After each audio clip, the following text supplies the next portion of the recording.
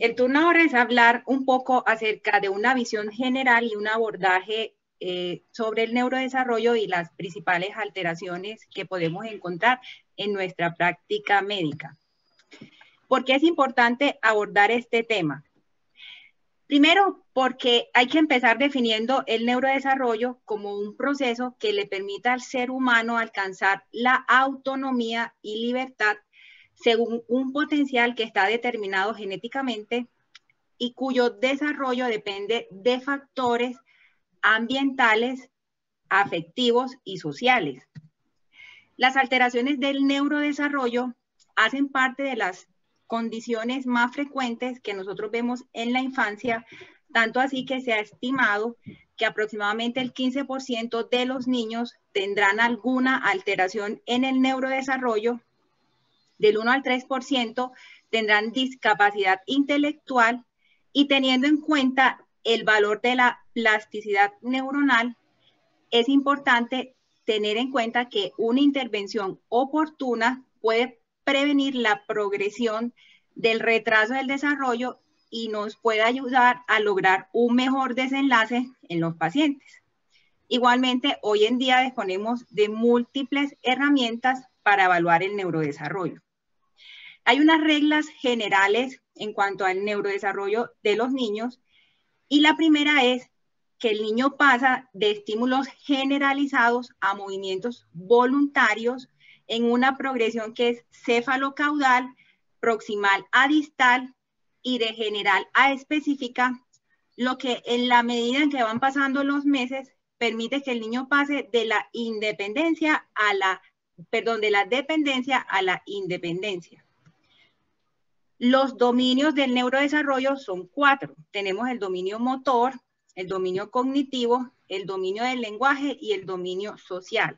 Vamos a empezar a hablar o de cada dominio, vamos a mencionar los aspectos claves eh, del neurodesarrollo y las respectivas banderas rojas que debemos identificar en la atención de los pacientes. Entonces, en el desarrollo motor grueso, esta gráfica es muy bonita porque nos permite ver la evolución de un niño neurotípico. Entonces, al nacimiento tenemos el recién nacido en posición fetal. El niño alcanza el sostén cefálico en prono, primero que el sostén en posición vertical.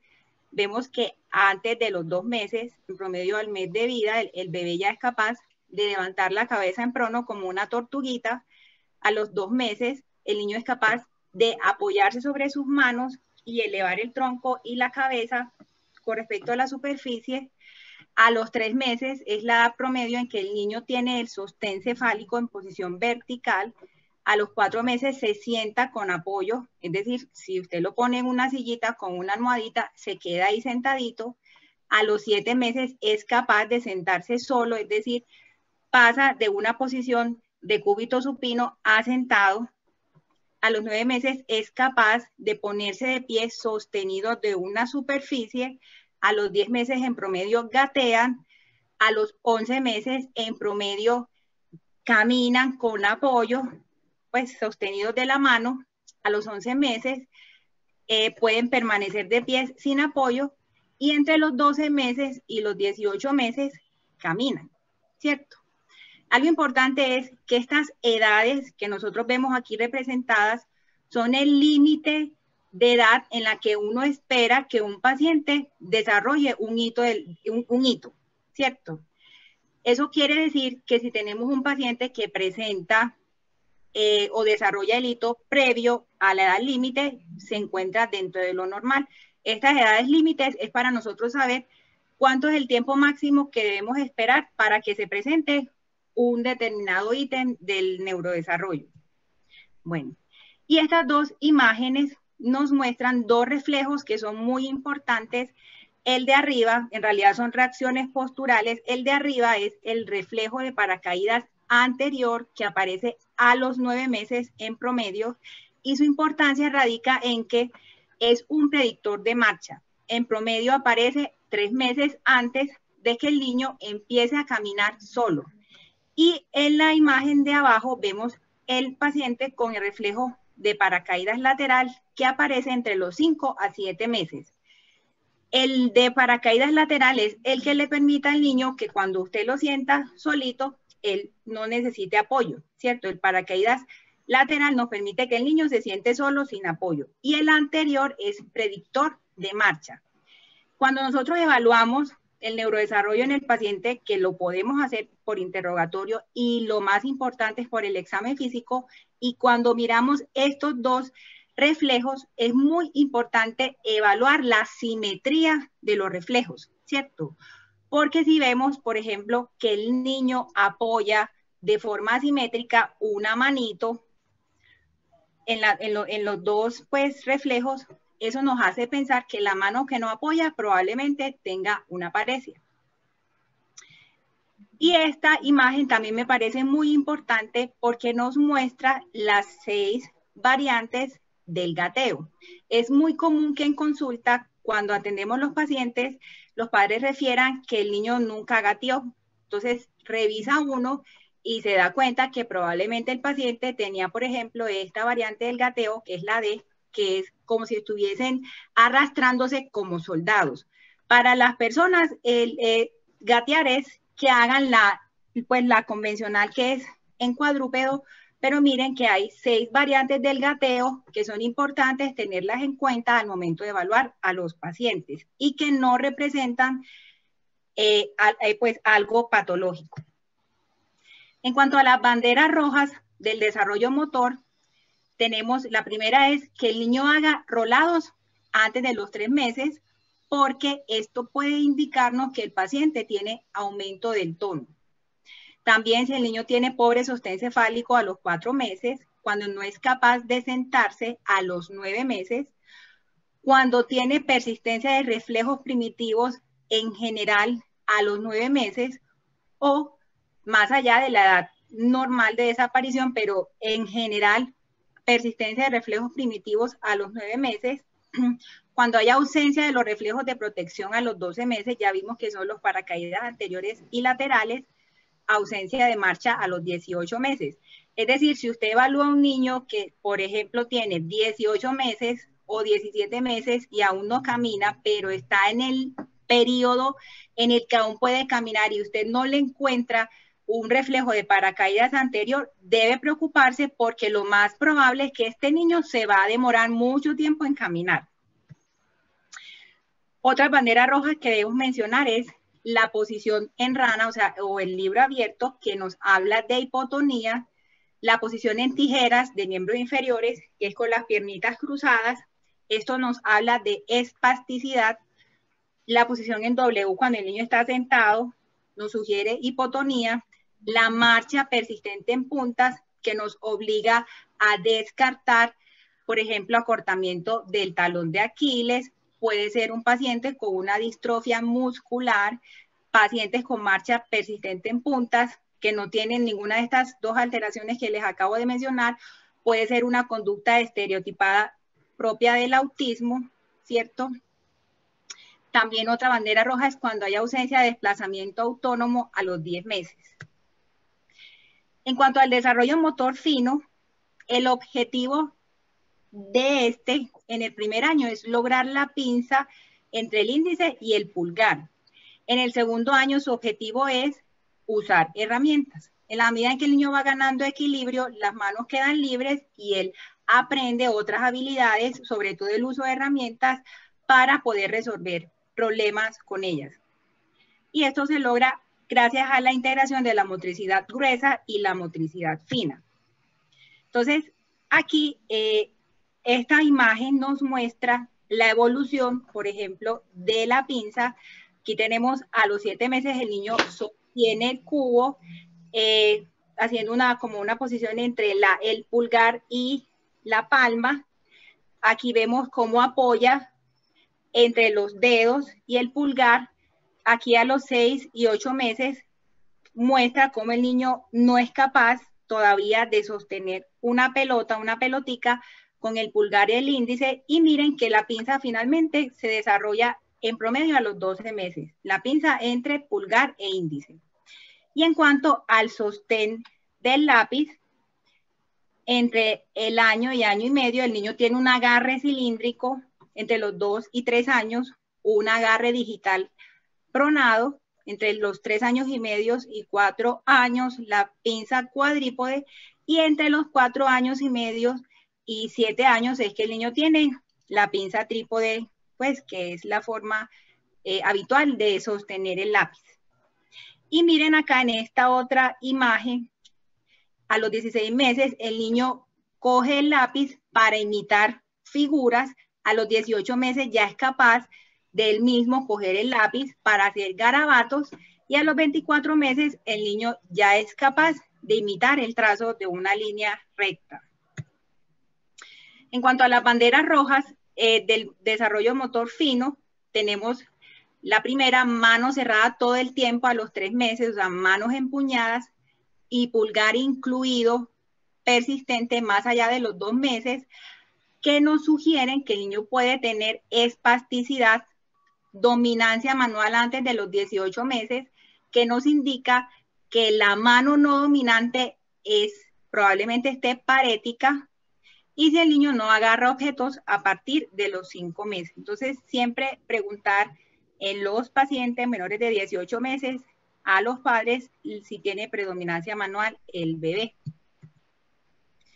Aquí hay algunos ejemplos de trastornos que afectan el desarrollo motor. Tenemos la parálisis cerebral infantil, que es la más común, el retraso global del desarrollo, más adelante vamos a hablar un poquito de él, enfermedades neuromusculares, trastornos motores neurodegenerativos y trastornos de origen osteoarticular.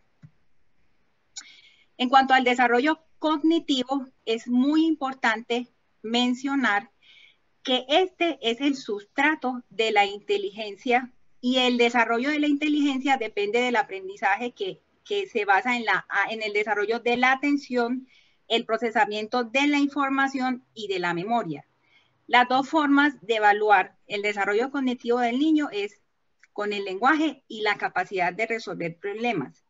Se ha establecido que el lenguaje es el principal predictor de la capacidad de inteligencia en los pacientes. Por eso hay que tener mucho cuidado cuando tenemos niños con retrasos del lenguaje, porque hay que saber que el lenguaje se relaciona con el nivel de inteligencia que puede tener el paciente. Entonces, cuando miramos los hitos, es muy común encontrar que la resolución de problemas va junto con el desarrollo del lenguaje. A los dos meses, el niño se interesa en las caras, sigue objetos, en el lenguaje hace sonidos como arrullos o gorjeos, mueve la cabeza buscando los sonidos, hace seguimiento auditivo. A los cuatro meses el niño responde al afecto, trata de alcanzar objetos, reconoce objetos, empieza a balbucear, copia sonidos y es capaz de llorar de diferentes maneras para expresar sus necesidades a los seis meses trata de tomar cosas fuera de su alcance, se lleva todo a la boca. En el lenguaje unevocales, reacciona a su nombre, emite sonidos ante las emociones y usa consonantes. A los nueve meses se desarrolla la permanencia del objeto, empieza a emitir sonidos bisílabos como mamá, papá, tata, señala, imita sonidos y gestos, a los 12 meses explora los objetos, los reconoce, mete objetos en un recipiente. En el lenguaje debe decir al menos una palabra, repite, utiliza gestos simples. A los 18 reconoce funciones de objetos, señala una parte del cuerpo, hace garabatos, empieza a hablar en palabras sueltas, mínimo a los 18 meses el niño debe decir seis palabras. A los 24 meses clasifica formas y colores, completa frases, debe hacer frases de dos, mínimo de dos palabras, señala las cosas en un libro.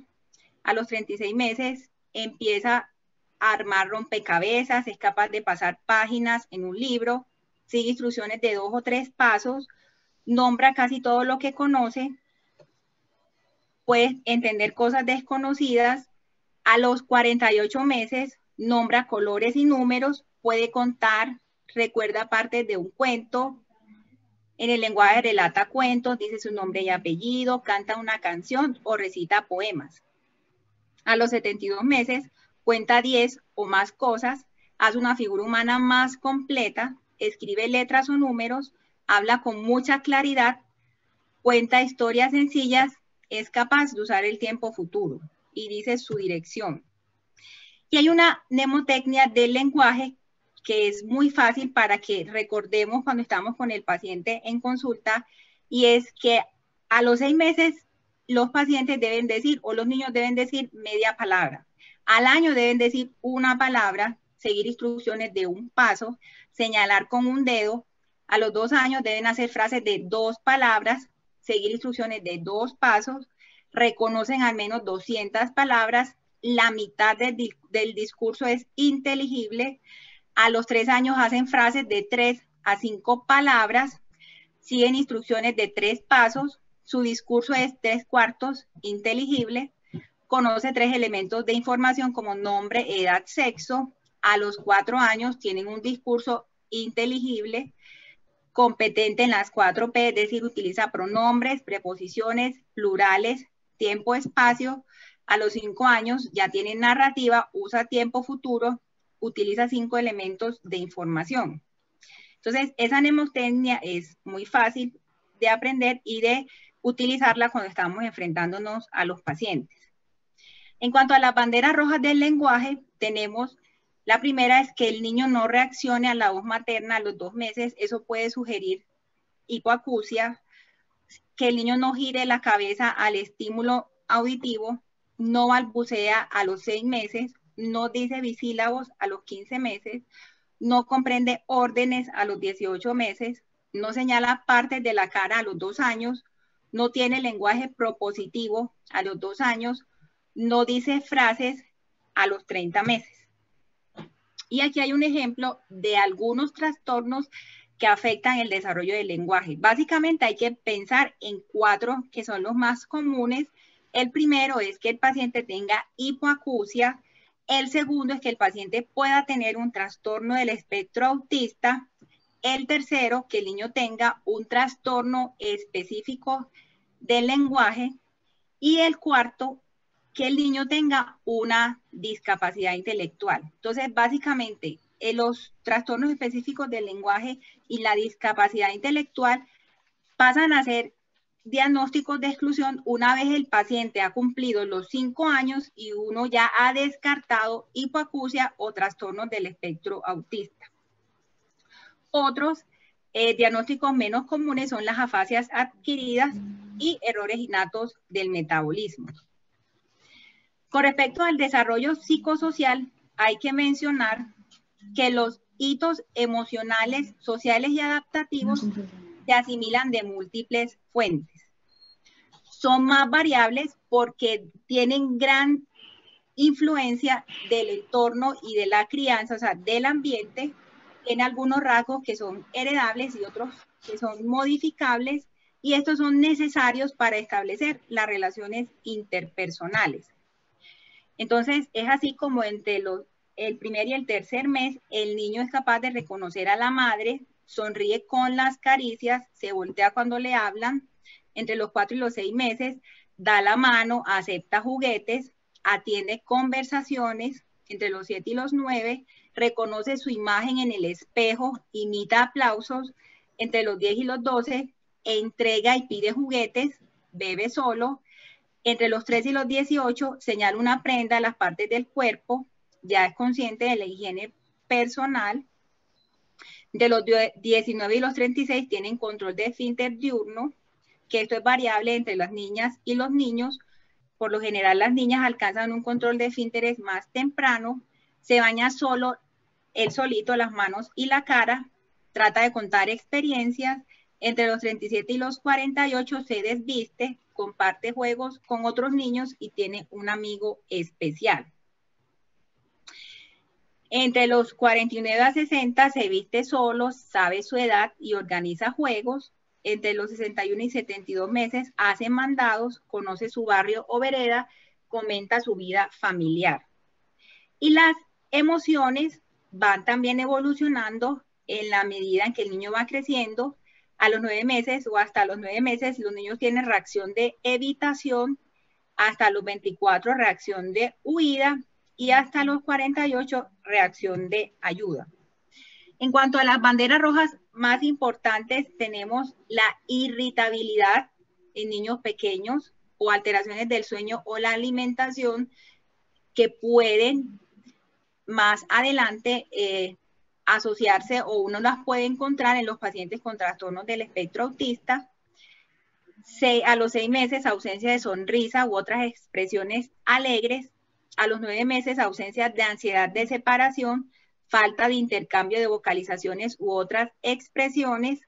A los 12 meses, falta de respuesta al nombre o ausencia de balbuceo. O sea, básicamente, estas banderas rojas nos alertan ante un posible trastorno del espectro autista, que lo veremos en la siguiente charla, uno de los elementos o de los pilares que están comprometidos es la interacción o la parte psicosocial. Eh, también a los 15 meses, ausencia de sonrisa social, no señalan, no piden ayuda. A los 18, falta de juego simbólico. A los 24 meses, falta de frases significativas de dos palabras y a cualquier edad regresión pues del lenguaje o de alguna habilidad social adquirida que es una bandera roja también del autismo. En cuanto al enfoque general del paciente con retraso del desarrollo, es muy importante, lo primero es hacer una historia del desarrollo, utilizando escalas que estén disponibles, solo para mencionar algunas, la que está validada en nuestro medio es la escala abreviada del desarrollo. Tenemos otras como el test de Denver, la escala de Bailey y el MCHAT, que es una herramienta que se utiliza en consulta para tamizaje de trastornos del espectro autista en niños menores de 3 años. Hay que indagar muy bien los antecedentes perinatales, la historia de exposición a medicamentos, a, a sustancias psicoactivas, anticonvulsivantes que ya se conoce que están asociados con alteraciones en el desarrollo del paciente, por ejemplo, la exposición intrauterina a ácido valproico que se asocia a trastorno del espectro autista o y a disminución del coeficiente verbal en los niños expuestos intrauterinamente, los antecedentes perinatales, eh, eh, sobre todo las condiciones del parto, noxas como asfixia perinatal o depresión neonatal, historia social, porque en un ambiente con una deprivación cultural o afectiva es muy común que encontremos niños con retraso del desarrollo por falta de estimulación y de hecho es una de las causas de discapacidad intelectual, historia familiar de discapacidad, consanguinidad o de trastornos del aprendizaje el examen físico completo en el que nunca puede faltar la medición del perímetro cefálico para determinar si hay una, alguna alteración como micro o macrocefalia, evaluar la presencia de estigmas neurocutáneos que nos pueden sugerir un síndrome neurocutáneo. La evaluación neuropsicológica es otra herramienta diagnóstica que en general tiene mayor utilidad en niños de más de cinco años cuando queremos cuantificar el coeficiente intelectual, la neuroimagen, dependiendo de la sospecha diagnóstica y los estudios metabólicos. Hay algunas definiciones que hay que tener en cuenta al momento de abordar un paciente con una alteración del neurodesarrollo y es que podemos hablar de un retraso específico del desarrollo y es cuando el paciente tiene afección de un dominio del desarrollo, sea del lenguaje, de la motricidad, o de la, de la, o de la parte psicosocial, hablamos de retraso global del desarrollo cuando hay compromiso de dos o más dominios del desarrollo. Cuando uno dice compromiso de dos o más, siempre es, porque al realizar las escalas que ya acabamos de mencionar, el puntaje del niño está por debajo de menos dos desviaciones estándar con respecto a la media para la edad. Y hablamos de discapacidad intelectual en niños mayores de 5 años cuando hay compromiso en el coeficiente intelectual y cuando tenemos compromiso en las habilidades adaptativas, que son las sociales, las instrumentales y las conceptuales. Entonces, Antes de los cinco años, nosotros hablamos de retraso del desarrollo, sea global o específico, y luego de los cinco años de edad utilizamos el concepto de discapacidad intelectual, ya no utilizamos el término retraso mental porque esto crea un estigma en los pacientes eh, y ya sabemos entonces que la límite son cinco años y si queremos aplicar pruebas para determinar coeficiente intelectual, la edad mínima recomendada son cinco años de edad. Y este algoritmo me parece muy interesante o muy importante porque no resume el enfoque que debemos hacer de un paciente con un retraso aquí global del neurodesarrollo. Como ya mencionamos, lo primero es obtener una historia clínica completa en donde se haga sobre todo énfasis en los antecedentes perinatales, los antecedentes familiares, la historia de consanguinidad. Se recomienda que todos los niños que tienen un retraso del desarrollo tengan estudios de audición y revisión por oftalmología porque es muy común encontrar alteraciones visuales como trastornos de la refracción y trastornos auditivos. Eh, se sugiere también, si estamos en un medio, por lo menos en nuestro medio, a todos los niños se les hace eh, TCH neonatal, pero muchas veces nosotros no disponemos de resultados en la consulta. Entonces, si estamos seguros de que el paciente tiene una TCH neonatal y es normal, podemos no repetirla, pero si el resultado no falta o la mamá no sabe, la recomendación es repetirla. ¿Por qué? Porque el hipotiroidismo congénito es una causa tratable de retraso del neurodesarrollo. Y hay que tener en cuenta que un niño con un hipotiroidismo no tratado, yo le inicio terapia y el niño empieza a arrancar en su desarrollo motor, en su desarrollo social, en su desarrollo del lenguaje, en su desarrollo cognitivo, pero ese niño no va a alcanzar el mismo potencial de desarrollo con respecto a su coeficiente intelectual con el que él ya venía. O sea, el daño de un hipotiroidismo no tratado es irreversible, ¿cierto? El niño arranca, pero el compromiso intelectual le queda al paciente. Por eso es muy importante estar pendientes de revisar la función tiroidea, porque es una causa tratable de retraso del desarrollo y de discapacidad intelectual si hay historia de eventos sugestivos de crisis o en aquellos niños en especial que tengan regresión del del, del lenguaje, regresión del lenguaje, se recomienda hacer un electroencefalograma por lo que mencionamos anteriormente de la fase adquirida, que es el síndrome de Lando-Kleffner, que es una encefalopatía epiléptica en la que el niño puede manifestarse con regresión del lenguaje y puede tener regresión del comportamiento.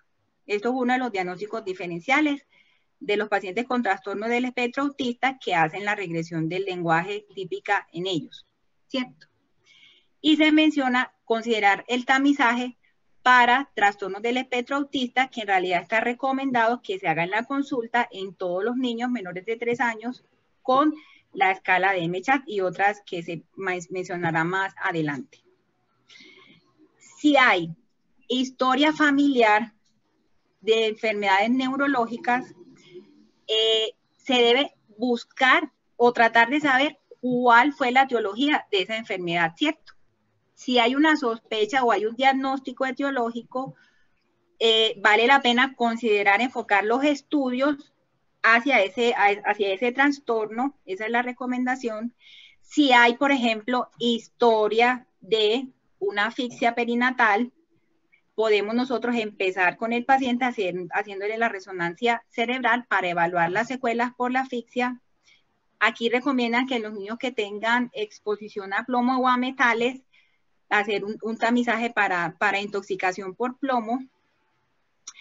Si el paciente tiene historia de regresión del neurodesarrollo. Siempre que tengamos regresión del neurodesarrollo, hay historia de consanguinidad en los padres. Debemos pensar en un posible error innato del metabolismo y es cuando están sugeridos los estudios metabólicos. Si el paciente al examen físico tiene un fenotipo sugestivo de alguna entidad sindrómica o genética, la recomendación es hacer los estudios enfocados hacia esa entidad. Entonces, pero en general, todos los pacientes requieren una historia clínica, un examen físico detallado en la que no nos puede faltar la medición del perímetro cefálico, la observación de si hay estigmas neurocutáneos. Lo tercero es que todos deben tener evaluación audiológica dependiendo de la edad y todos deben tener evaluación por oftalmología. Ya los demás estudios se orientan dependiendo de lo que nosotros encontremos al examen físico y en los antecedentes. Entonces, por ejemplo, estas imágenes son, son fotos de pacientes que tienen alteraciones en el neurodesarrollo secundario de algún síndrome. Por ejemplo, el primer niño es un paciente con un síndrome de Down con el fenotipo característico.